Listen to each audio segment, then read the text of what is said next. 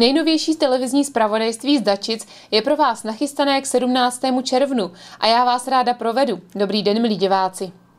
Dobrovolný svazek obcí Vodovod Lanštejn združuje celkem sedm obcí. Spolu s Dačicemi sem patří například Slavonice, Staré město pod Lanštejnem nebo Nová Bystřice. Ze společných peněz spolku se investuje do lepšího stavu vodní infrastruktury regionu a letos se chystají hned dvě akce spojené přímo s naším městem. Výsledkem bude jak lepší tlak, tak větší množství pitné vody pro odběratele. Z Lanštejnské nádrže zásobuje vodovodní řad pitnou vodou kromě Dačic ještě třeba Budíškovice, Horní Slatinu a nebo Budeč. Lepší tlak, ale i množství pitné vody má zajistit další etapa výměny trubek podél silnice z Dačic na Slavonice. Po loňské etapě se tentokrát bude pracovat v úseku od odbočky ve směru na Lidéřovice až za vodojem v Peči. Jedná se o úsek délky 1,9 km a tak, jak tomu bylo v loňském roce, potrubí bude komplet zrekonstruováno, vyměněno za nové litinové v průměru 250 mm. V rámci výběrového řízení, které proběhlo, eh, byl vybrán uchazeč nejnižší nabídkovou cenou, kterým je firma TB Building z Jindřichova Hradce, který podal nabídku ve výši 12,5 milionů korun bez DPH. Investiční akci plánuje realizovat dobrovolný svazek obcí Vodovod Lanštejn v letních měsících. Práce poběží na pozemcích podél silnice bez dopravních omezení nejpozději do konce října. Stavební práce budou probíhat za plného provozu, takže občané nepoznají eh, žádné změny na vodovodní síti, eh, pouze v případě přepojení, což se bude odehrávat až na konci vlastní realizace, by mohlo dojít k nějakým změnám tlaku na vodovodní síti. Nicméně mělo by se jednat o minimální změny, protože v té době budou plně naplněny vodojemy, ze kterých budou odebírány nebo zásobovány jednotlivé domácnosti. Za plného provozu se bude realizovat i druhá inovace infrastruktury, kterou na letošní rok Klanštejnské združení nachystalo. Jde o finální úpravu vodovodní sítě v dačické lokalitě na Červeném vrchu. I zde se jedná o další etapu, v tomto případě již poslední třetí etapu, eh, kdy předcházely první dvě, bylo tomu zdvojení vodovodu na kostelní vydří a vybudování bypassu přes Červený vrch. Tyto dvě akce máme komplet hotové a třetí, tak abychom ucelili a zajistili vysokou kvalitu pitné vody a požadovaný tlak je úprava právě sítě, která se bude odehrávat celkem ve třech ulicích. Jedná se ulici Boženy Němcové, Antonína Dvořáka a Tyrčovu, kde budou vybudovány propojovací potrubí a zaokruhování celého systému. Během prací můžou lidé u kohoutků na červenáku zaznamenat maximálně pokles tlaku. Kromě odběratelů vody zaznamenají práci na vodovodech také řidiči, kteří jsou zvyklí v ulicích Teršova, Boženy Němcové a Antonína Dvořáka kuřáka jezdit. Budou určitě omezení, i když některé úseky budou řešeny řízenými protlaky, takže to omezení budou minimální, nicméně určitě potřeba počítat v těchto místech s omezením, které bude řešeno v rámci dopravně inženýrského opatření. A vlastní realizace taktéž bude probíhat v letních měsících a zakončena nejpozději do konce října letošního roku. Práce pod Červeným vrchem zajistí Jindřichohradecká společnost Světelsky za 3,5 milionu bez daně z přidané hodnoty. Inovaci vodovodní sítě přímo v Dačicích zaplatí stejně jako výměnu trubek u cesty ze Slavonic rozpočet dobrovolného svazku obcí Vodovod Lanštejn. Z Dačic Ondřej Alexandr Kronika. Domov seniorů funguje v Dačicích už čtyři roky. Ačkoliv jde o krajské zařízení, pravidelně se setkává s finanční podporou ze strany města. Poslední příspěvek na lepší péči pro dříve narozené občany schválili zastupitelé Dačic na svém posledním zasedání. Dačický domov seniorů v nemocničním areálu nabízí 73 lůžek pro dříve narozené lidi a ještě i denní stacionář pro 10 klientů, kteří v domově sice nebydlí, chodí sem ale trávit svůj volný čas. Moderní zázemí za cirka 110 milionů korun nechal v roce 2018 postavit zřizovatel, kterým je jeho český kraj. Financování zařízení je ale více zdrojové. Peníze domov získává od klientů z Ministerstva práce a sociálních věcí a taky prostřednictvím dotací od města.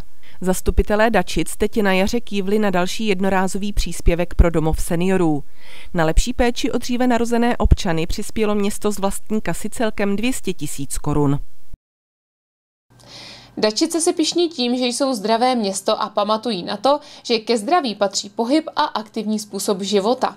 V sobotu 11. června proto mohli zájemci nahlédnout do sportovní haly a s místními sportovci vyzkoušet různé druhy sportů. Prostranství před sportovní halou pak pohostilo vyhlášení květnové akce do práce na kole, která připomněla, že sportovat se dá kdykoliv. Stačí nechat doma auto a cestu do práce absolvovat ekologičtějším a zdravějším způsobem. Celý květen na kole, koloběžce, pěšky nebo poklusem, tedy udržitelně a aktivně. Květnovou výzvu, kterou každoročně vyhlašuje hnutí Automat, letos přijalo rekordních 24 695 účastníků z celého Česka. Mezi nimi je i 104 cyklistů a cyklistek, kteří vyráželi do práce na kole v Dačicích. Zapojilo se 104 lidí, což je 20% nárůstek oproti minulému roku a najezdili jsme trochu víc, než je od pólu k pólu, čili 23 tisíc kilometrů. Dačice se do celorepublikové akce zapojili po druhé. Na závěrečné cyklopárty spojené s vyhlášením výsledků si zapojení cyklisté převzali ceny za počet najetých kilometrů, originální název týmu nebo zapojení do doprovodných akcí. V kategorii cyklozaměstnavatel pak bodovalo město Dačice. Nejdůležitější podmínkou ale byla pravidelnost, s jakou jednotlivé týmy na své cyklocesty vyrážely. Tým s největší pravidelností byl tým Special ze společnosti THK ve složení Radek Bureš a Sonja Richtrová. Na druhém místě byl tým Nejede to mouchy v zubech z firmy Pokorný Dačice a na třetím místě jsou, to je takový speciální tým našich nejmladších účastníků, ti se jmenují Germ Knödl a je to Lea a Tomáš Kutl-Vašerovi. Na zapojené cyklisty čekalo losování o ceny, které na svých cestách využijí. Sady na opravu kol, světla na kolo a další sportovní vybavení. Hlavní cena, cyklovětrovka, bude ušita na míru přímo šťastnému výherci.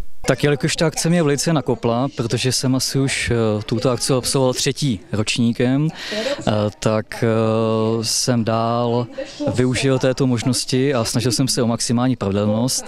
Jedna z těch cen, která mi tady minula, byla právě to, že jsem se snažil jezdit za každého počasí. Je to o něčem jiném, protože každé ráno nějakým způsobem vnímáte trošku tu cestu do práce úplně jinak a je to nějaký určitý způsob relaxu, určitý formu odpočinku.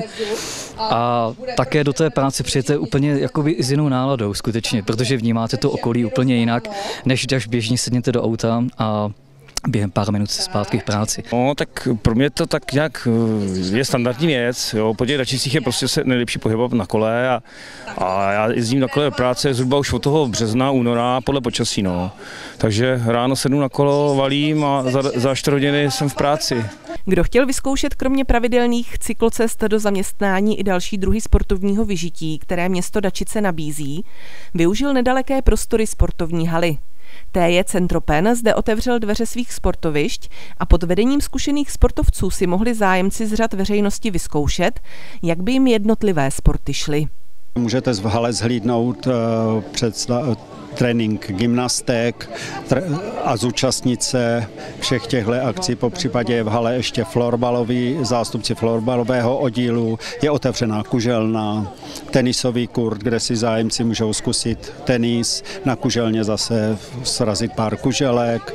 A je zde taky oddíl volejbalu, kde můžete zkusit teda přesunout míč přes síť. Kromě příležitosti zasportovat si na akcích nabízí TJ Centropen také členství v klubech. Tělovýchovná jednota Centropen má šest oddílů. Eh, v těchto šesti oddílech je dohromady 485 členů a naším největším oddílem je teda oddíl florbalu, který má 150 členů. Dále následuje oddíl kuželek a gymnastiky, který mají kolem 80 členů. Dále Třeba SPV cvičení pro všechny má 56 členů, volejbal 61, tenis 41. Nejen tato pestrá nabídka pohybových aktivit dělá z zdravé město. Z Dačic Eva Mustrová Marvanová a Lucie Váchová.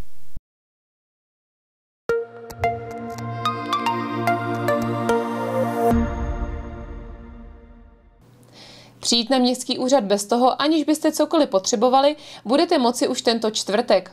Od 9 do 16 hodin se na všech čtyřech budovách totiž chystá Den otevřených dveří. Po delší době otevíráme opět náš městský úřad pro veřejnost. Bude to ve čtvrtek 23. června a bude to v době od 9 do 16 hodin. Budou to všechny budovy městského úřadu, to znamená začínat se bude na radnici, potom eh, budova číslo dvě, potom beseda a ukončení bude na starém zámku. Připraveno jsou nové eh, místnosti, chceme se pochlubit, že během covidu jsme nespali, ale že jsme eh, vylepšili úřad a budou připraveni na pracovištích naši kolegové, kteří představí své odbory a i soutěže pro děti a dospělé. Blížící se velké prázdniny se budou letos opět vítat taky v Borku. Spolek při místní části města Dačice zařídil kapelu i občerstvení už na pátek 24. června. Jménem občanského združení Spolek Borek bychom vás rádi pozvali na druhý ročník kulturní akce Uvítání léta v Borku, které se koná v pátek 24. června od 19 hodin tady na hřišti. Připravené bude grilované maso, dobroty z udírny a dobře vychlazené pivo. Hraje kapela Klaret. Přijďte se k nám pobavit. Přímo v Dačicích se potom bude léto vítat už poslední sobotu v měsíci. Palackého náměstí nabídne kromě zábavy pro děti hned několik hudebních zážitků. A netradiční občerstvení tu doplní třeba ještě i nabídka hned několika mini pivovarů. Město Dačice a Kulturní dům Beseda eh, připravil pro všechny dačičáky, ale i doufáme širší okolí eh, takové zahájení letní sezóny, vítání léta a to akcí s názvem Lipky Open.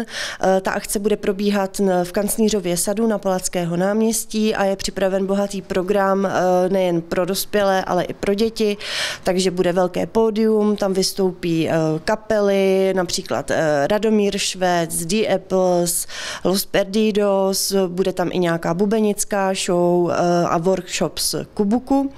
Eh, okolo bude probíhat doprovodný program, který má eh, v režii Chůdadlo, to je taková akrobatická společnost, takže tady budou chůdaři, akrobati, závěsné, různé konstrukce a bude několik představení akrobatických, včetně žonglování a tak dále, takže to je zase zábava nejen pro děti, ale i pro dospělé. A samozřejmě nebude chybět mít eh, dobré jídlo a pití, máme pozvaných několik pivovarů a stánky se street foodem, budeme tady mít eh, větnamskou kuchyni, indonéskou kuchyni, eh, food truck Meka a Cheese a spoustu dalšího, nebude chybět Amigo Grill a různé mini pivovary, chotoviny, dálešice a tak dále. Podrobný program je k dispozici na webových stránkách Besedy nebo na události na Facebooku. Vstupné je samozřejmě zadarmo a doufáme, že vyjde počasí a všechny zveme a moc se těšíme, že si ten den společně užijeme. Začátek je už v 11 hodin, takže všechny srdečně zveme na oběd, bude z čeho vybírat a konec bude až někdy před půlnocí, protože celý program vyvrcholí eh, hodinovým půlnočním cirkusem a ohňovou show. Takže 25. června v Dačicích od 11 hodin Lipky Open.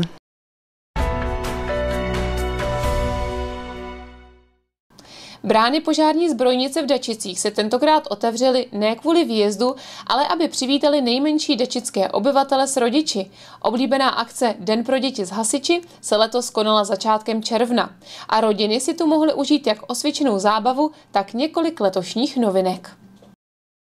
Nedělní odpoledne mohli rodiče a děti společně strávit na tradiční akci Dětský den s hasiči. Místní sbor dobrovolných hasičů pro ně přichystal osvědčenou zábavu, jako jsou soutěžní disciplíny nebo tematický požární skákací hrad. Nechyběla ani příležitost zařádit si ve speciální hasící pěně. Na přípravě i realizaci se podílelo okolo 20 dobrovolných hasičů a na stanovištích pomáhala i nejmladší hasičská generace. Na každém stanovišti jsou naše děti z kroužku hasičů, který to mají na starost nějakého dospělého, včas k sobě mají, ale už máme nějaké větší děti, takže už to obstarají sami. Mladí hasiči z kroužku, kteří se na přípravě odpoledne podíleli, jsou nejen organizačně zdatní, ale nebojí se ani poměřit své síly na hasičských soutěžích. O kroužek je v Dačicích velký zájem a v současnosti se na dačické hasičárně scházejí dvě skupiny. Na kroužek chodí 21 dětí, z toho věková rozpětí je od 14 let až do 6, 5 a máme děcka teď rozdělené na dvě skupiny, jezdíme po hasičských soutěžích, letos jsme se prvně zúčastnili soutěže Plamen pro děti v Nový Včelnici, kde se naše děti umístily devátý, takže jsme byli za ně rádi, protože to byla disciplína, kterou jsme ještě ani pořádně netrénovali, ale obhájili to tam moc hezky. Překvapením letošního ročníku byla návštěva dobrovolných hasičů ze Studené, kteří se se svým novým vozem postarali o osvěžující zážitek a předvedli techniku hašení z vozu. Nečekané ochlazení přišlo v horkém odpoledni vhod všem přítomným. Je to v podstatě jakoby přední lafeta, která je ovládaná velitelem, takže to, ten, co vlastně sedí vedle, vedle řidiče e, a je to účinný v podstatě při, při požárech e, na poli, trávy a takhle, kdy, kdy ty hasiči vlastně nemusí ani z toho auta ven a, a mají ten hasební účinek před sebou. Naplněný program trval celé odpoledne, proto nechyběla také možnost občerstvení. Kvalitní zázemí, výborná organizace i slunné letní počasí se tak postarali všem návštěvníkům o příjemný zážitek. Zdačic Eva Mustrová Marvanová a Lucie Váchová.